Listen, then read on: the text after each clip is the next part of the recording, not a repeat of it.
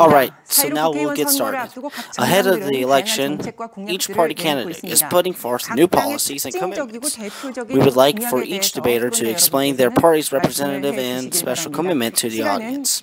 Each debater has 2 minutes 25 seconds to announce their commitment yes, how are you? I'm the Dawn of Liberty Party Strategy Chairman Kim Jeong-min. Since we aren't running for any specific district but are going out proportionally, we've made our commitment in the interest of all people of Korea, not for any special interest groups.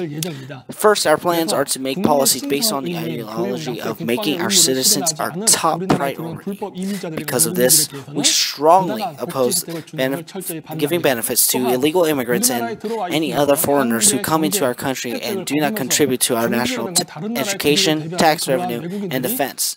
Also, we oppose giving green cards and economic success to any foreigner who, while receiving the benefits of our nation's economy, represents China's or any other country's interests over ours. Second, we plan to find out the truth and give a national response to the currently ongoing Northeast project in China. Currently, China is trying to add Goguryeo and North Korea to their history. Moreover, China is trying to add Baekje to their history as well, thus claiming our nation's granary province, Chungcheongdo and Jeollado as Chinese land. However, the current administration and government hasn't shown any opposition, but if we enter the National Assembly, we will pursue responsibility and work hard to fix this problem.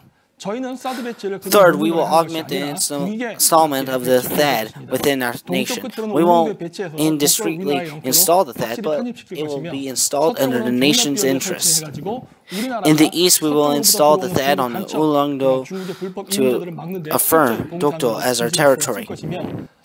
In the West, we'll install it at Gyeongryeo in order to create a military base which will prevent Chinese spies and illegal immigrants from entering our nation. In the south, we will pour cement and build artificial islands just as China and Japan are already doing to install the THAAD at the Socotra rocks in order to help increase the safety of our trade routes. We will have mutual cooperation with the U.S. to implement these things. Also, all funds will be gathered from the trade war between the U.S. and China by taking the trade market, which China is losing from the U.S., and bring it to our nation and increase our revenue.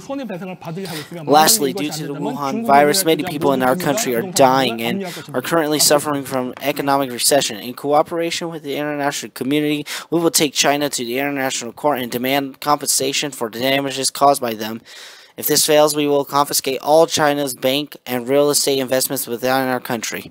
I yield back. All right, this is the last one. Dawn of Liberty's party candidate Kim Jeong-min, please give your last remarks. Yeah, in July of 2019, a Korean Democrat Party-affiliated think tank, a Democratic researcher, made a business deal with the Central Party School of the Communist Party of China. According to the info I know, during this April 15th election, they will be making a business exchange. However, it is suspicious as to why, during a free election by our people, that they would make a business exchange with the Chinese Communist Party, which has never cast a vote.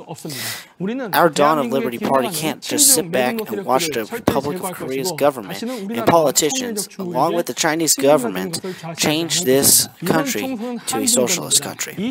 We will rid of all freeloading pro-China traitors from our country, and we won't allow our nation to become a territory of our a thousand-year enemy, China. This general election is a Korea-China war. Would Japan, which was bombed by two atomic bombs during World War II and disarmed, be our enemy? Or would China, who robbed our capital investments and skills while becoming the second world economic power, not being satisfied by this, now distorting our history, robbing Goguryeo and Baekje, afterwards claiming that North Korea, Chungcheongdo, and Jeollado as their territory, be our enemy? I believe you all must make a wise selection in this election. We support the Hong Kong freedom movement. We promise to help the Tibetans, powerful spirited Uyghurs, and the Falun Gong trainees escape oppression from the Chinese Communist Party. That is all.